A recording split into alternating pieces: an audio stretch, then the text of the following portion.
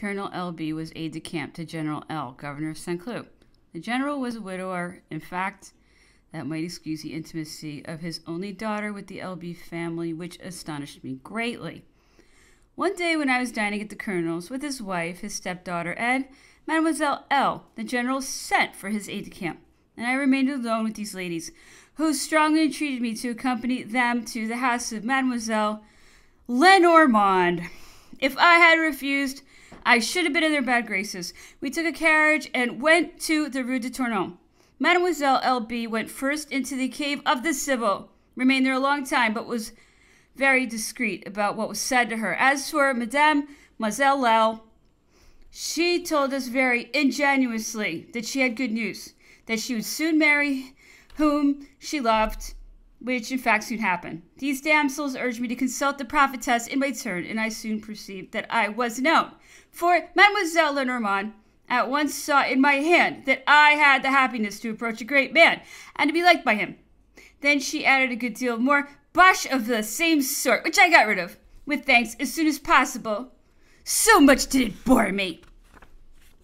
Chapter 12 While the emperor was giving crowns to his brothers and sisters, the throne of Holland to Louis, Naples to Joseph, the Duchy of Berg to Prince Murat, Lucca and Massa Carrara, to the Princess Lisa Guastalla, to the Princess Pauline Borghese, while by means of family alliances and treaties he was assuring the cooperation of the different states which had entered the Confederation of the Rhine. War broke out anew between France and Prussia.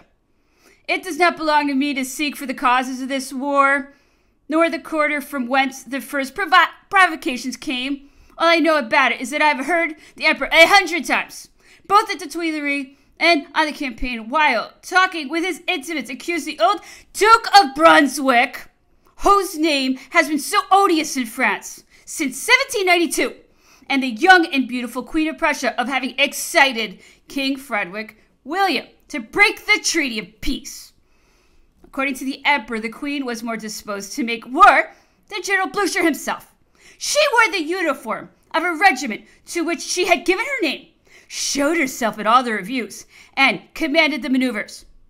We left Paris at the end of September. It is not my intention to enter into the details of this marvelous campaign in which the emperor in a few days was seen to crush an army of 150,000 men, perfectly disciplined, full of enthusiasm and courage, and with their country to defend. In one of the first battles, the young Prince Louis of Prussia, brother of the king, was killed at the head of his troops by Guindet, quartermaster of the 10th Hussars. The prince was fighting hand to hand with his brave non commissioned officer, who said to him, Surrender, colonel, or you are a dead man. Prince Louis replied only by a thrust of the saber, and Guindet plunged his own into his body. In this campaign, the roads being broken up by the continual passage of artillery, my carriage was upset, and one of the Emperor's hats fell out of the window. A regiment which was going over the same road recognized the hat by its particular form, and my carriage was righted on the spot. No, said these good fellows, we will not leave the first valet de chambre of the little corporal in a scrape. The hat, after having passed through all hands, was finally given back to me before my departure. On arriving on the plateau of Weimar, the emperor put his army in battle array and bivouacked in the middle of his guard. Toward two o'clock in the morning, he rose and set off on foot to examine the works on a road he was having dug in the rock for the transportation of artillery. He stayed more than an hour at the Pioneers, and before turning towards his bivouac, he wished to have a look at the nearest outposts.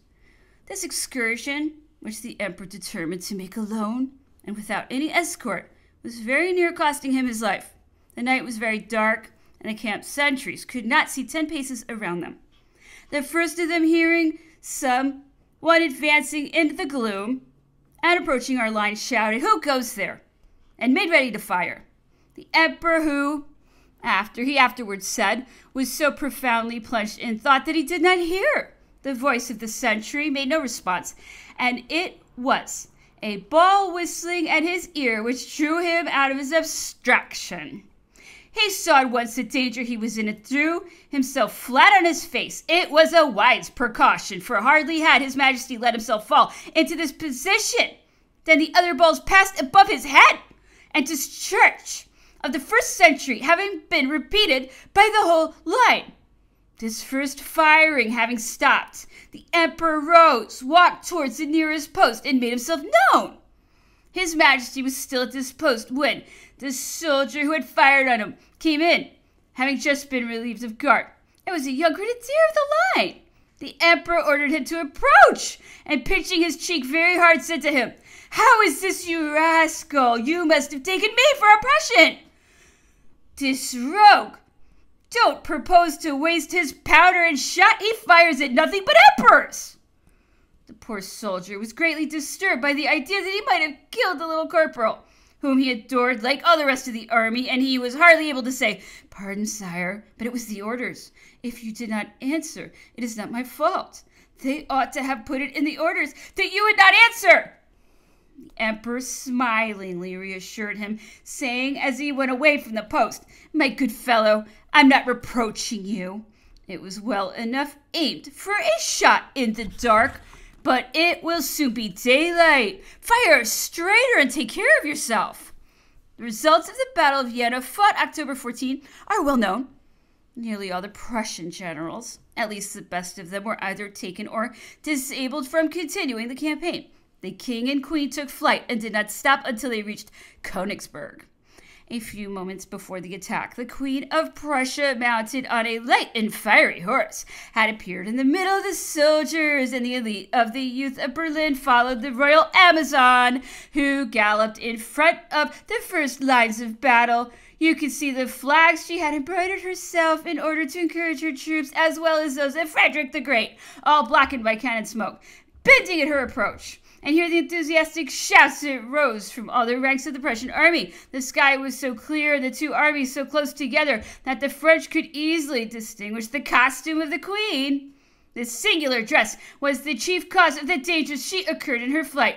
On her head was a helmet of polished steel shaded by a superb plume. She wore a cuirass all glittering with gold and silver. A tunic of cloth of silver completed her attire and fell to the top of her brodequins, which were red with gold spurs. This costume enhanced the charms of the beautiful queen. When the Prussian army was routed, the queen stayed behind with four or five young men in Berlin who defended her until two hussars, who had galloped themselves with glory during the battle, galloped at full speed with uplifted sabers into the midst of this little group, which instantly dispersed.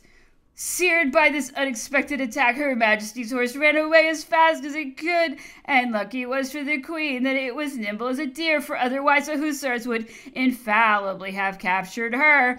More than once they were so close at her heels that she could hear camp speeches and jests of a sort to horrify her ears. Thus pursued, the Queen had arrived in sight of the gates of Weimar when a detachment of Klein dragoons were seen coming up at a full gallop. The leader had orders to take the queen at all hazards, but hardly had she entered the city when its gates were shut. The hussars and the detachment of dragoons returned disappointed to the field of battle. The details of this singular pursuit soon came to the ears of the emperor, who summoned the hussars to his presence. After expressing in very sharp terms his dissatisfaction with the indecent pleasantries they had dared to make at the queen's expense, at a time when her misfortunes demanded even more than the respect due to her rank and sex, the emperor inquired how these brave fellows had behaved during the battle. Learning that they had performed prodigies of valor, his majesty gave them the cross and a gratuity of 300 francs apiece. His Majesty showed clemency to the Duke of Weimar, who had commanded a Prussian division. The day after the Battle of Jena, His Majesty, having gone to Weimar, lodged at the ducal palace, where he was received by the Duchess Regent. Madame, the Emperor said to her, I am pleased that you should have waited for me. And it is because you have had this confidence in me that I pardon your husband. When we were at the army, I slept under the emperor's tent, sometimes on a small carpet, and sometimes on a bearskin which he used to wrap around him in the carriage. When it happened that I could not make use of these objects, I tried to procure a little straw. I remember that I did a great service to the King of Naples one evening by dividing with him a bundle of straw that was to have served for my bed. Here are some details which may give the reader an idea of the manner in which I passed the nights in campaign. The emperor would be reposing on his little iron bedstead, and I lying where and how I could. Scarcely would I fall asleep when the emperor would call me Constant. Sire, see who's on duty. M, tell him to come and speak to me. I would leave the tent to notify the officer whom I would bring back with me. On his entry, the emperor would say to him, Go to such a court, commanded by such a marshal. Order him to send such a regiment to such a position. Assure yourself of that of the enemy, and then come and report to me. The aide de camp would go out and mount a horse to go and execute his mission. I would lie down again, and the emperor would seem to wish to sleep. But at the end of several minutes, I would hear him calling, Constant, sire, have the Prince of Neuchatel summoned. I send word to the prince, who presently arrives, and while they are conversing, I remain at the door of the tent. The prince would write some orders and withdraw. Such disturbances would take place several times during the night.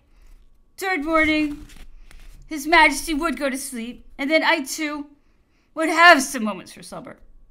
When aides de camp came to bring tidings to the emperor, I would waken him by a little gentle push. What is it? His Majesty would say, starting up at once. What time is it? Tell him to come in. The aide would make his report if it was necessary. His Majesty would rise directly and go out of the tent. His toilet did not take long. If there was to be a battle, the Emperor would look at the sky and the horizon, and I have often heard him say, There's a fine day brewing. Breakfast was prepared and served in five minutes, and in a quarter of an hour the table was cleared. The Prince of Neuchatel breakfasted and dined with His Majesty every day, and the longest repast was over in eight or ten minutes. And the emperor would say, To horse! and ride off, accompanied by the Prince Neuchatel, an aide de camp or two, and Roustan, who always carried a silver flask full of brandy, of which the emperor hardly ever made use. His Majesty went from one court to another, speaking to the officers and soldiers, interrogating them, and seeing with his own eyes all that it was possible to see.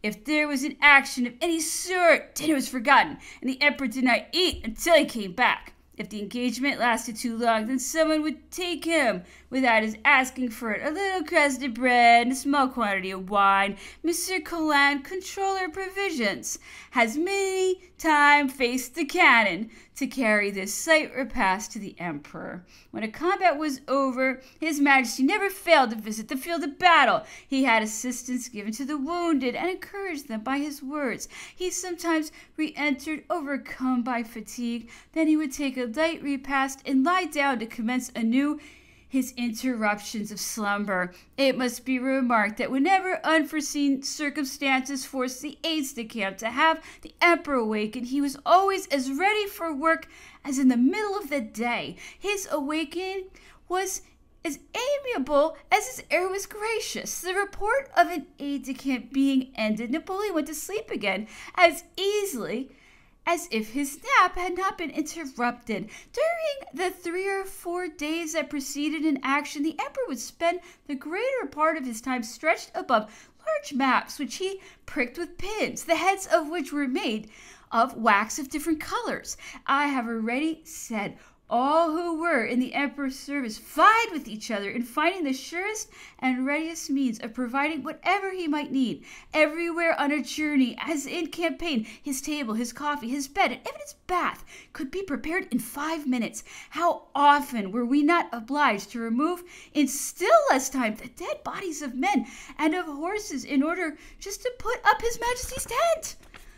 I do not know in what campaign beyond the Rhine it was that we found ourselves obliged to halt in a wretched village where, to make a lodging for the emperor, we were forced to take a peasant's hut, which had been used for a hospital. We had to begin by carrying out the amputated limbs and washing off the bloodstains. This task was accomplished in less than half an hour, and all looked pretty well. The emperor sometimes slept from 15 minutes to half an hour on the battlefield when he was fatigued or if he wanted to await more patiently the result of the orders he'd given.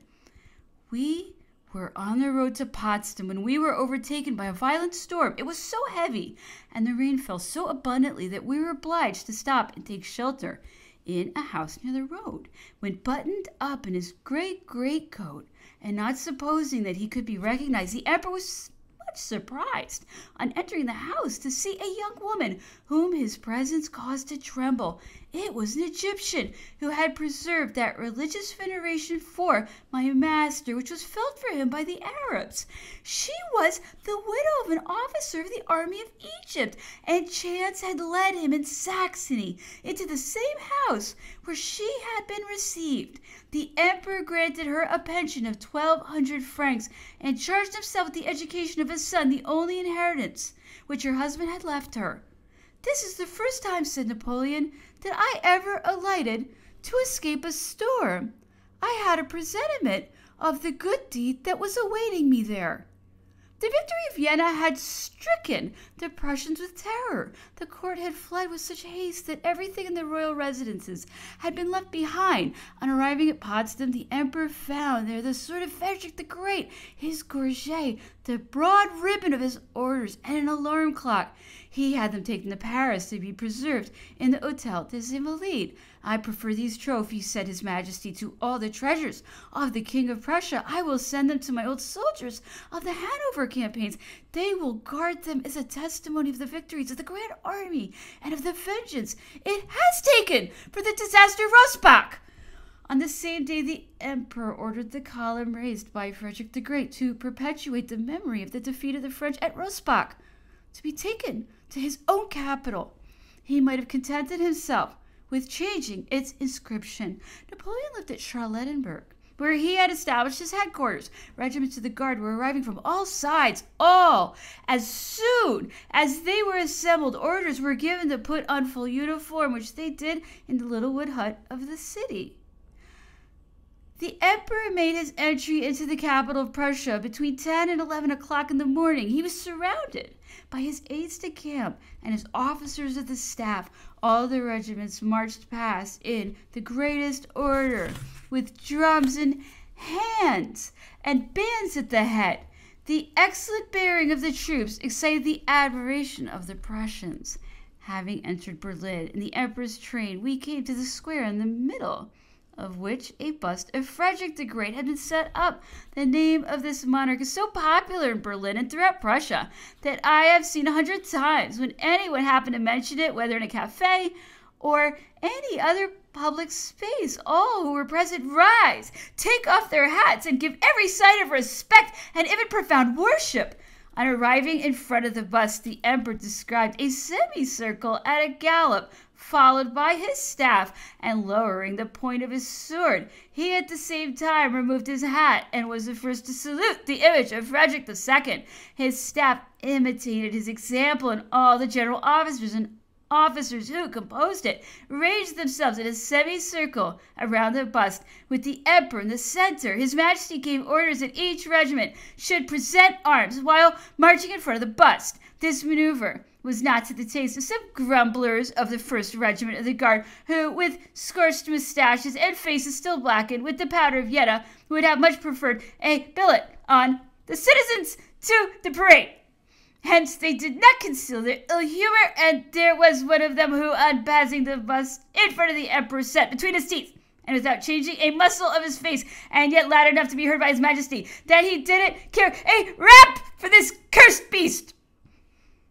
His Majesty turned a deaf ear, but in the evening he repeated, with a laugh, the saying of the old soldier. His Majesty elated at the chateau where his lodging had been prepared and where the officers of his household had preceded him, having learned that the electoral princess of Hesse Cassel, sister of the king, was lying ill there in consequence of a confinement. The emperor went up to the apartment of this princess, and after a rather long visit, he gave orders that this lady should be treated with the respect due to her rank and her cruel position. Chapter 13 at Berlin each day and each hour of the day brought the emperor news of some victory gained, some success obtained by his generals. General Beaumont presented him with 80 flags taken from the enemy by his division. Colonel Girard brought him 60 more taken from Blucher at the Battle of Wismar. Magdeburg had capitulated, and a garrison of 16,000 men had laid down their arms before General Savary. Marshal Mortier was occupying Hanover in the name of France. Prince Murat was entering Warsaw after chasing the Russians out of it. It was against the latter that the war was about to recommence, or rather continue, for the armies of Prussia might well be regarded as annihilated. The Emperor left Berlin to conduct his operations against the Russians in person. We traveled in the little calashes of the country, as in all our journeys, the carriage of the Grand Marshal preceded that of the Emperor. The season and the passage of the artillery had made the roads frightful, and yet we went very fast. Besides Kutno and Warsaw, the carriage of the Grand Marshal was upset and his collarbone broken. The Emperor came up soon after this unlucky accident and personally supervised the Marshal's removal to the nearest post house. We always had a small medicine chest with us so that the indispensable requirements were promptly attended to. His Majesty remitted him to the care of his own surgeon and did not leave him until he had seen the first bandages applied. At Warsaw, where His Majesty spent the entire month of January 1807, he inhabited the Grand Palace. The Polish nobility, eager to pay court to him, gave magnificent fetes and very brilliant balls at all. The wealthiest and most distinguished people in the city were present. At one of these reunions, the emperor remarked a young Polish lady, Madame V, 22 years of age and recently married to an old noble of a severe temper and very austere manners, who was fonder of his titles than of his wife. Still, he loved her much, but in return was respected rather than loved. The emperor was attracted to this lady at the first glance. She was fair, with blue eyes and dazzling white complexion. She was not tall, but she was perfectly well made and had a charming figure. The emperor approached and began a conversation in which she took her part with much grace and spirit and in a way that showed she had received a brilliant education. A trace of melancholy that pervaded her whole person rendered her still more attractive. His Majesty fancied he saw in her a woman who had been sacrificed, whose family life was unhappy, and the interest inspired by this idea made him more enamored, more impassioned, than he had ever been for any woman. She must have perceived it. The day after the ball, the Emperor seemed to me in an unusual state of agitation. He would rise, walk about, sit down, and rise again. I thought I should never finish dressing him that day. Directly after his breakfast, he commissioned a great personage, whom I will not name, to go on his behalf to pay a visit to Madame V. and acquaint her with his sentiments and wishes.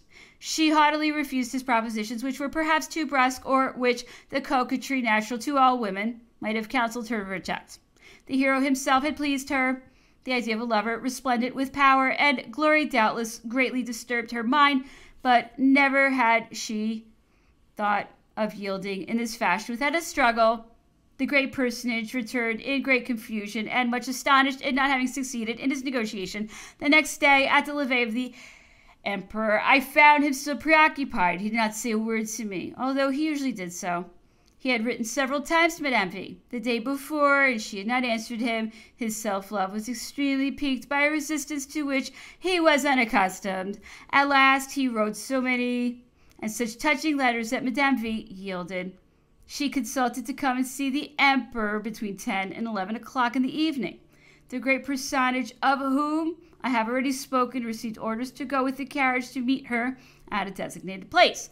While awaiting her, the emperor strode restlessly up and down, displaying as much emotion as impatience. Every minute he was asking me the time Madame V at last arrived, but in what a condition, pale, mute, and with eyes bathed in tears. As soon as she appeared, she was brought into the emperor's chamber. She could hardly stand and leaned, trembling on my arm. When I had introduced her, I withdrew along with the personage who had brought her. During her tete a tete with the emperor, Madame V wept and sobbed that, in spite of the distance, I could hear her moaning in a way that rent my heart. It is probable that in this first interview the emperor obtained nothing from her. His Majesty summoned me about two o'clock in the evening. I made haste and saw Madame V coming out with her handkerchief over her eyes and still shedding bitter tears. She was taken back to her own home by the same personage. I thought she would never return.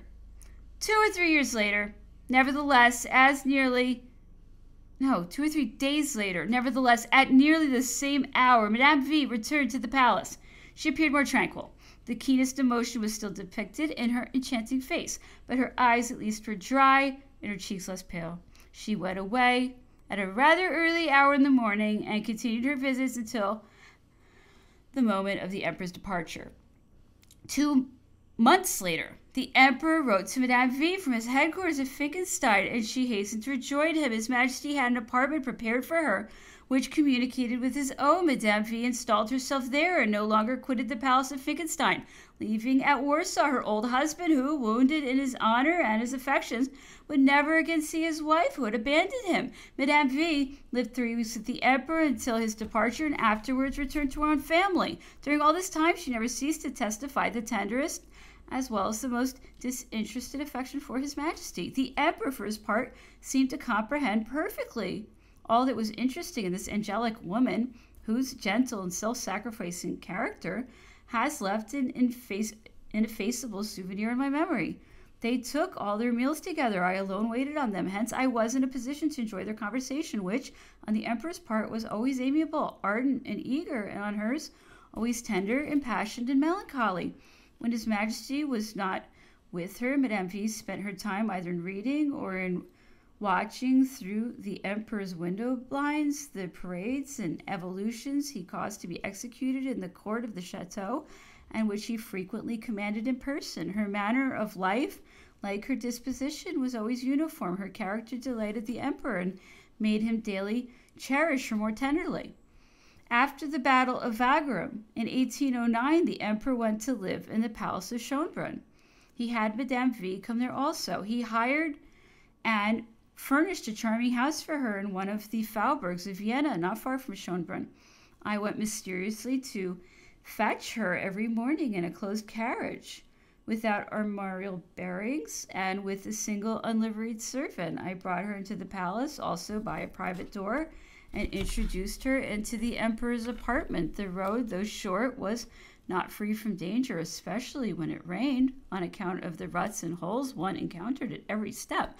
Hence, the emperor would say to me nearly every day, Take care this evening, Constant. It has been raining and the road must be bad. Are you sure of your driver? Is the carriage in good condition? And other questions of the same sort, all of which proved sincere and real attachment for Madame V. For that matter, the emperor had reason enough for urging me to be careful, for one evening, after we'd started from our house a little later than usual, the coachman upset us in trying to avoid a rut. He'd thrown the carriage over the side of the road. I was on the right side of Madame V. The carriage fell to the right, so that I was the only sufferer from the fall, while Madame V, tumbling on top of me, received no injury. I was satisfied to have saved her. I told her so, and she displayed her gratitude with a grace peculiarly her own. The hurt I felt at first was soon over. I was the first to laugh at it, and then Madame V, who described our accident to the to His Majesty as soon as we arrived. It was at Schönbrunn that Madame V became pregnant. I shall not attempt to recall all the cares and attentions with which the Emperor surrounded her.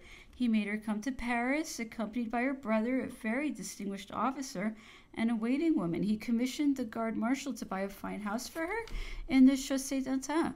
Madame V was happy. She often said to me, All my thoughts, all my inspirations come from him and return to him.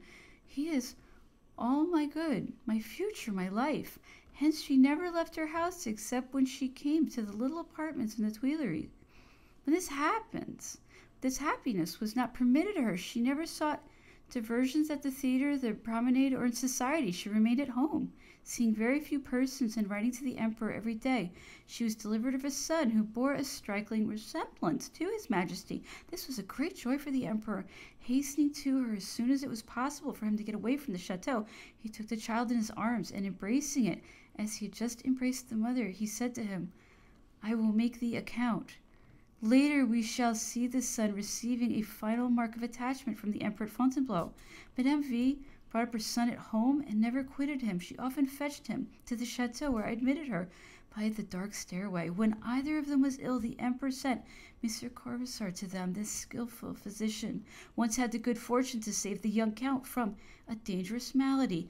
Madame V had a gold ring made for the Emperor around which she rolled some of her beautiful fair hair.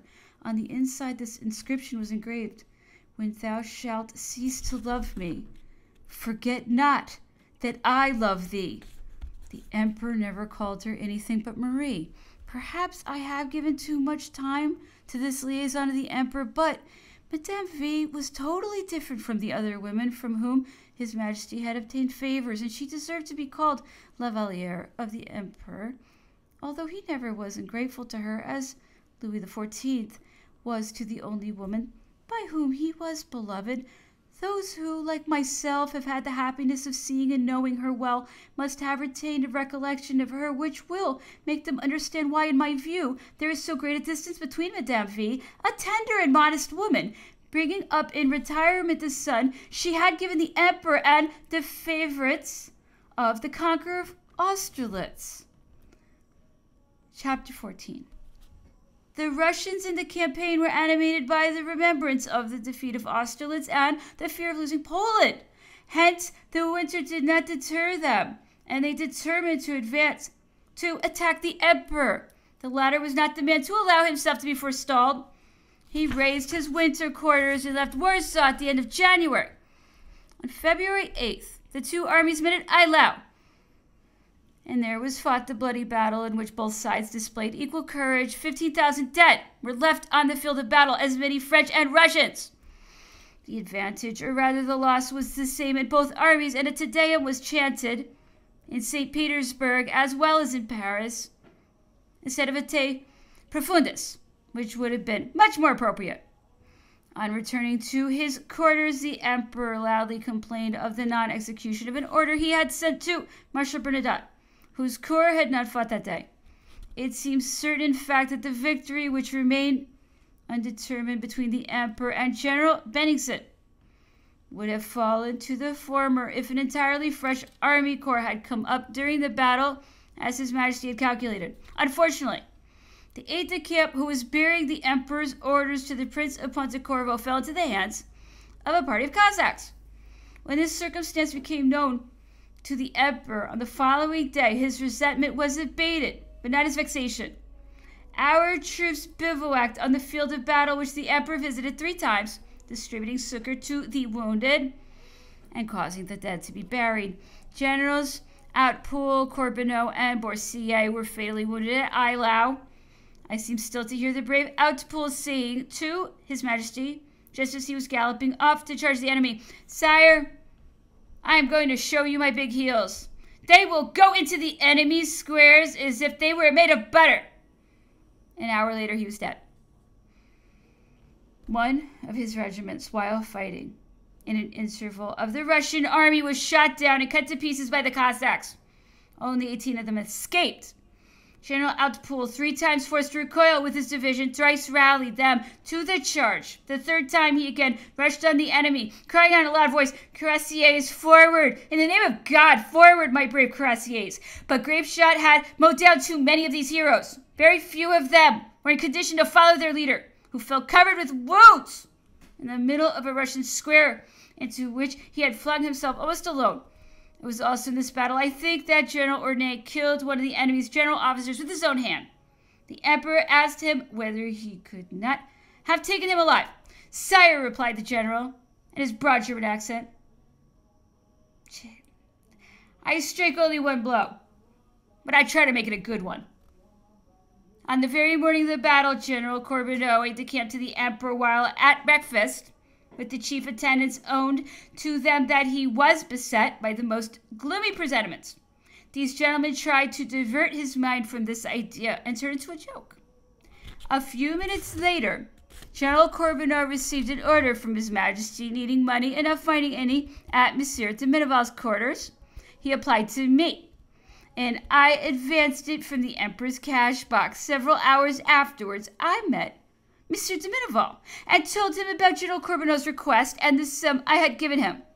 I was still speaking to Mr. de Méneval when an officer galloping by shouted to us in passing the sad tidings of the general's death. I have never forgotten the impression this piece of news made upon me, and I still find in- inexplicable that sort of inner misgiving which had come to warn the hero of his approaching death. Poland was counting on the emperor for the restoration of its independence. Hence, the Poles were full of hope and enthusiasm when they witnessed the arrival of the French army. This winter campaign, however, displeased our soldiers greatly. The cold, the destitution, the bad weather inspired them with an extreme aversion to this country. In a review at Warsaw, while the inhabitants were thronging around our troops, one of the soldiers began swearing energetically against the snow and mud, and consequently against Poland and the Poles. You are very wrong not to like our country, Mr. Soldier, said a young girl belonging to a very good burgher family of the city. For we like the French very much. You are certainly very amiable, mademoiselle, replied the soldier. But if you wish to persuade me of the truth of what you are saying, you will give me comrade and you will give me good dinner. At this, the parents of the young Pole came forward and said, Come along then, gentlemen. We will drink together to your emperor's health.